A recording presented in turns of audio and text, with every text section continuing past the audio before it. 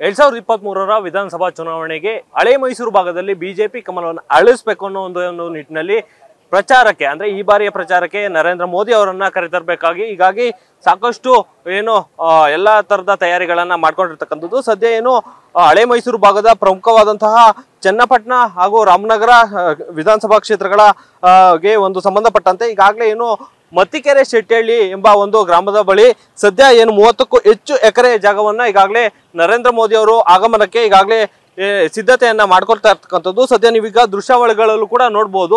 ಏನಂದ್ರೆ ಈಗಾಗಲೇ ಏನು ಚುನಾವಣೆಗೂ ಕೂಡ ದಿನಗಣನೆ ಆರಂಭ ಆಗಿರ್ತಕ್ಕಂಥದ್ದು. ಹೀಗಾಗಿ ಪ್ರಮುಖವಾಗಿ ಪ್ರ- ಪ್ರಚಾರಕ್ಕೆ ನರೇಂದ್ರ ಮೋದಿ ಅವರನ್ನೇ ಖುದ್ದು ಕರೆತಂದು ಈ ಒಂದು ಭಾಗದಲ್ಲಿ ಬಿಜೆಪಿ ಕಮಲವನ್ನ ಅಳಿಸ್ಬೇಕು ಅನ್ನೋದು ಒಂದು ನಿಟ್ಟಿನಲ್ಲಿ ಈಗಾಗಲೇ ಎಲ್ಲ ರೀತಿಯ ತಯಾರಿಗಳನ್ನ ಸದ್ಯ ಮಾಡ್ಕೊಂಡಿರ್ತಕ್ಕಂಥದ್ದು. ಅದರಲ್ಲೂ ಕೂಡ ಪ್ರಮುಖವಾಗಿ ಏನು ಈ ಒಂದು ನರೇಂದ್ರ ಮೋದಿ ಅವರ ಒಂದು ಪ್ರಚಾರಕ್ಕೆ ಸದ್ಯ ಹತ್ತು ಕ್ಷೇತ್ರಗಳಿಂದ ಜನರನ್ನ ಕರೆತರಬೇಕು ಅನ್ನೋದು ಕೂಡ ಇಲ್ಲಿಯ ಏನು ಪ್ರಮುಖವಾದಂತಹ ನಾಯಕರು ಹಾಗೆ ಪ್ರಭಾವಿ ನಾಯಕರಾದಂತಹ ಸಿ ಪಿ ಯೋಗೀಶ್ವರ ಅವರ ಏನು ಒಂದು ಪ್ಲಾನ್ ಆಗಿರ್ತಕ್ಕಂಥದ್ದು. ಸದ್ಯ ಹೀಗಾಗಿ ಏನು ಈ ಒಂದು ಜಾಗದಲ್ಲಿ ಕೆಲಸವನ್ನ ಈಗಾಗಲೇ ಆರಂಭಿಸಿರ್ತಕ್ಕಂಥದ್ದು. ನೀವು ಕೂಡ ದೃಶ್ಯಾವಳಿಗಳಲ್ಲೂ ಕೂಡ ನೋಡ್ತಾ ಇರ್ತಕ್ಕಂಥದ್ದು.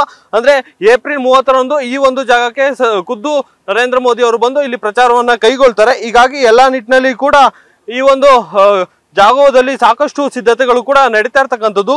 ಈಗ ಏನು ಈ ಒಂದು ಜಾಗದಲ್ಲಿ ಯಾವೆಲ್ಲ ರೀತಿಯ ಕಾರ್ಯಕ್ರಮಗಳು ನಡೀತವೆ, ಹಾಗೆ ಯಾವೆಲ್ಲ ರೀತಿಯ ಸಿದ್ಧತೆಗಳನ್ನ ಮಾಡ್ಕೊಂಡಿದ್ದಾರೆ ಅನ್ನೋದ್ರ ಬಗ್ಗೆ ಈಗ ಮಾತನಾಡ್ಲಿಕ್ಕೂ ಕೂಡ ನಮ್ಮ ಜೊತೆ ಈಗ ಸಿ ಪಿ ಯೋಗೇಶ್ವರ್ ಅವರು ಕೂಡ ನಮ್ಮ ಜೊತೆ ಇದ್ದಾರೆ. ನಾನು ಅವ್ರನ್ನ ಮಾತಾಡ್ತಾ ಹೋಗ್ತೀನಿ.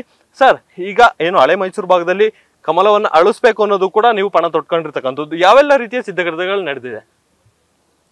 ಒಂದು ಚುನಾವಣೆಯ ಒಂದು ಭಾಗವಾಗಿ ಸಾರ್ವಜನಿಕ ಸಭೆಯನ್ನು ನಾವು ಸ್ವಾಭಾವಿಕವಾಗಿ ಏರ್ಪಡಿಸ್ತೀವಿ. ಇವತ್ತು ಆ ಸಾರ್ವಜನಿಕ ಸಭೆಗೆ ನರೇಂದ್ರ ಮೋದಿಯವರನ್ನ ಕರ್ತಾ ಇರ್ತಕ್ಕಂಥ ವಿಚಾರ ನಮಗೆಲ್ಲರೂ ಕೂಡ ಭಾಳ ಹೆಮ್ಮೆಯ ವಿಚಾರ. ನನಗಂತೂ ವೈಯಕ್ತಿಕವಾಗಿ ಅದರಿಂದ ಭಾಳ ಖುಷಿ ಆಗ್ತಾ ಇದೆ.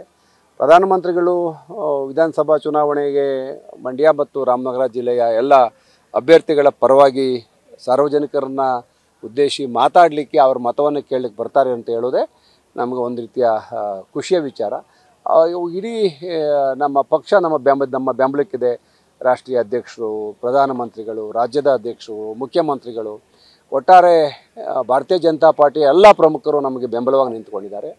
ಇದೆಲ್ಲ ಹಳೆ ಮೈಸೂರು ಭಾಗದಲ್ಲಿ ಬಿ ಜೆ ಪಿ ಬೆಳಿಲಿಕ್ಕೆ ಅನುಕೂಲ ಆಗ್ತಾ ಇದೆ. ನಾನೊಬ್ಬನಿಗೆ ಅಲ್ಲ, ಮತ್ತು ನಮ್ಮ ಎರಡೂ ಜಿಲ್ಲೆಯ ಎಲ್ಲ ಅಭ್ಯರ್ಥಿಗಳಿಗೆ ಪೂರಕವಾದಂಥ ಒಂದು ವಾತಾವರಣ ಇದೆ.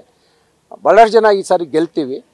ಹಳೆ ಮೈಸೂರು ಭಾಗದಲ್ಲಿ ನಿಮಗೆಲ್ಲ ಗೊತ್ತೇ ಇದೆ, ಕಳೆದ ಮೂರು ತಿಂಗಳ ಹಿಂದೆ ಅಮಿತ್ ಶಾ ಜಿ ಮಂಡ್ಯಕ್ಕೆ ಬಂದಿದ್ದರು ಅವರು ವಿಜಯ ಸಂಕಲ್ಪ ಯಾತ್ರೆಯನ್ನು ಉದ್ದೇಶಿಸಿ ಸಮಾರಂಭದಲ್ಲಿ ಮಾತಾಡೋದ್ರು.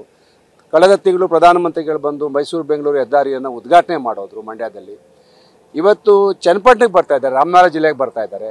ಹಾಗಾಗಿ ಹಳೆ ಮೈಸೂರು ಭಾಗಕ್ಕೆ ಹೆಚ್ಚು ಒತ್ತು ಕೊಟ್ಟು ನಮ್ಮ ರಾಷ್ಟ್ರೀಯದ, ರಾಜ್ಯದ ನಾಯಕರು ಕೆಲಸ ಮಾಡ್ತಾ ಇದ್ದಾರೆ. ಅದರ ನಮಗೆ ತುಂಬ ನಮ್ಗೆ ಮಾರಲ್ ಆಗಿ ತುಂಬ ಸಪೋರ್ಟ್ ಆಗಿರ್ತಕ್ಕಂಥ ವಿಚಾರ. ನೀವು ಕೂಡ ಹಳೆ ಭಾಗದ, ಹಳೆ ಮೈಸೂರು ಭಾಗದ ಪ್ರಭಾವಿ ಬಿಜೆಪಿ ನಾಯಕ ಅಂತ ಗುರುತು ಮಾಡ್ಕೊಂಡಿದ್ರಿ. ಇದರಲ್ಲೂ ಕೂಡ ಪ್ರಮುಖವಾಗಿ ಈ ಬಾರಿ ಎಷ್ಟು ಸ್ಥಾನಗಳನ್ನ ಗೆಲ್ಲಿಸ್ಬೇಕು, ಇಲ್ಲಿ ಯಾವೆಲ್ಲ ರೀತಿಯ, ಅಂದ್ರೆ ವಿರೋಧ ಪಕ್ಷವನ್ನ ಸೋಲ್ಸಕ್ಕೆ ಯಾವೆಲ್ಲ ರೀತಿಯ ಒಂದು ತಯಾರಿಯನ್ನು ಮಾಡ್ಕೊಂಡಿದ್ರಿ ಅಂತ? ನಮ್ಮ ಪ್ರಯತ್ನ ನಾವು ಮಾಡ್ತೀವಿ. ಜನಗಳಿಗೆ ನಮ್ಮ ವಿಚಾರ ಹೇಳ್ತೀವಿ. ರಾಜ್ಯ ಸರ್ಕಾರ ಮಾಡಿರ್ತಕ್ಕಂಥ ಕೆಲಸಗಳು, ಕೇಂದ್ರ ಸರ್ಕಾರದ ಹಲವಾರು ಯೋಜನೆಗಳು, ರಾಜ್ಯ ಸರ್ಕಾರ ರಾಮನಗರ ಜಿಲ್ಲೆಗೆ ಕೊಟ್ಟಿರ್ತಕ್ಕಂಥ ಹತ್ತು ಹಲವಾರು ಪ್ರಮುಖವಾದಂಥ ಕೆಲಸ. ಹೀಗೆ ಎಲ್ಲ ಅಭಿವೃದ್ಧಿ ಕೆಲಸಗಳನ್ನು ಮನಸ್ಸಲ್ಲಿ ಇಟ್ಕೊಂಡು ಮತ್ತು ಏನು ಮುಂದೆ ಅತಂತ್ರ ಸರ್ಕಾರ ಬಂದರೆ ಏನೆಲ್ಲ ತೊಂದರೆ ಆಗುತ್ತೆ. ಮತ್ತು ಜೆ ಡಿ ಎಸ್ಸಿಂದ ಯಾವುದೇ ರೀತಿಯ ಪ್ರಯೋಜನ ನಮ್ಮ ರಾಜ್ಯಕ್ಕೆ ಆಗೋದಿಲ್ಲ.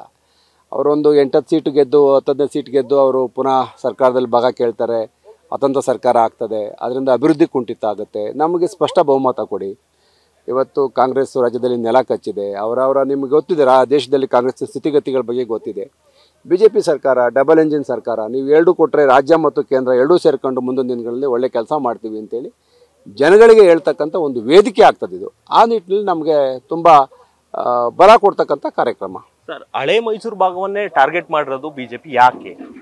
ಟಾರ್ಗೆಟ್ ಅಂದರೆ ನಮ್ಮ ಪ್ರಾ ನಮ್ಮ ಪ್ರಾತಿನಿಧ್ಯ ಕಡಿಮೆ ಇತ್ತು ಮೊದಲಿಲ್ಲಿ. ಮೊದಲಿಲ್ಲಿ ಜೆ ಡಿ ಎಸ್ಸು ಮತ್ತು ಕಾಂಗ್ರೆಸ್ ಎರಡೇ ಇದ್ದು ನಾವು ನಾಮಕಾವಸ್ಥೆಗೆ ಮಾತ್ರ ಪ್ರತಿನಿಧಿಸ್ತಾ ಇದ್ದೀವಿ. ಈ ಸಾರಿ ಸೀರಿಯಸ್ ಆಗಿ ನಮ್ಮ ಪಕ್ಷ ಅದನ್ನು ಕೈಗೆ ತಗೊಂಡಿದೆ.